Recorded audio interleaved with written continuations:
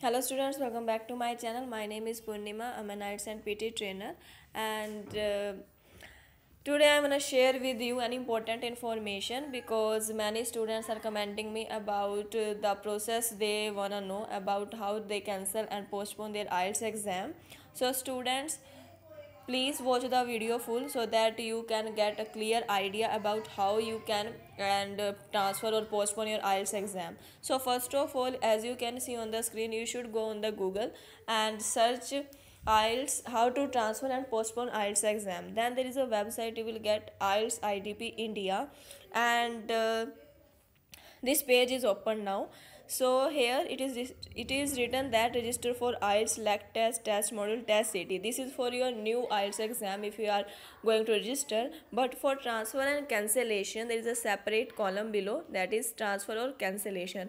So you should go on this cancellation request. Please download the transfer cancellation application form and policy from the download section on www.ieltsidpindia.com so now i'm going to download this form and as you can see on the screen this is our form.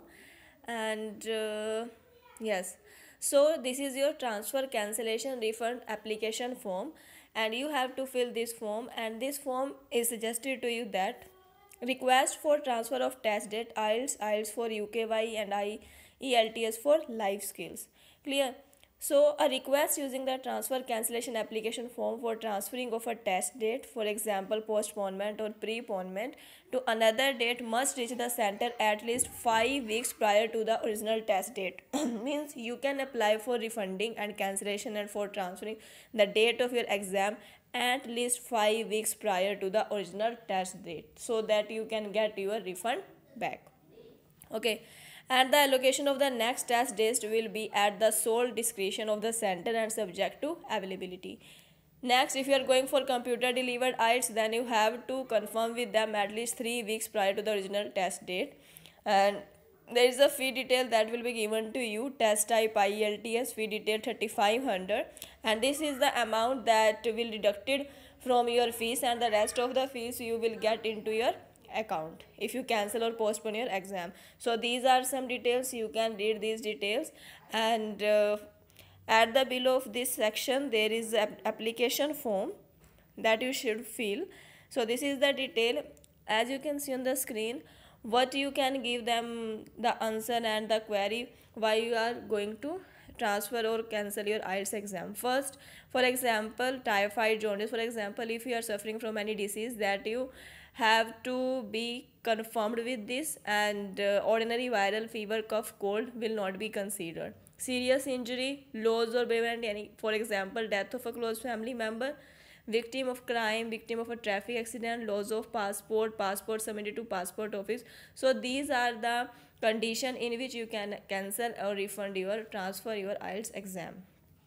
Fine then there is uh, you have to submit a medical certificate signed by registered medical practitioner in case of uh, disease or uh, hospital admission certificate and discharge summary etc and then fee detail is given to you 3500 3775 3500 for computer based and simple IELTS and then is 3475 so moving to the form. So this is the form you have to fill. And as you can see first of all you have to write your candidate name that will be written on your passport. Then your signature date place test date.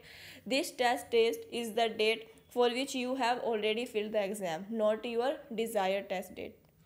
Next is request for tick appropriate box transfer cancellation and then you have to write on the date of today or the day on which you are going to submit this form. Next is your personal detail and it should be same as provided in the application form. First and middle name family name your passport number address mobile landline contact number email id center name and number candidate statement to be completed by the candidate. Please provide detailed information of applying for. So in this you have to write the reason and why you are going to cancel or why do you want a refund and why do you transfer your IELTS exam? And then test registered for in this you will mention your date of the designated date clear? Then is your new test date which you are going to be preferred and uh, the next date that you will want on which you can give your IELTS exam. Take appropriate box first choice you can mention any new date and second choice you can add any other date fine then there is a candidate financial detail. You have to give them your financial detail candidate beneficiary name candidate number bank name bank branch address bank account number bank ifsc code candidate mobile contact number candidate landline contact number passport number and then your address etc then your signature and date. So this is the form you have to fill and you have to submit it or you can mail to the IELTS IDP branch office. Okay so that you can easily get your money back. Okay guys so i think that video is going to be useful for you. And if you like the video share this with your friends. And all the best for your IELTS exam. Okay bye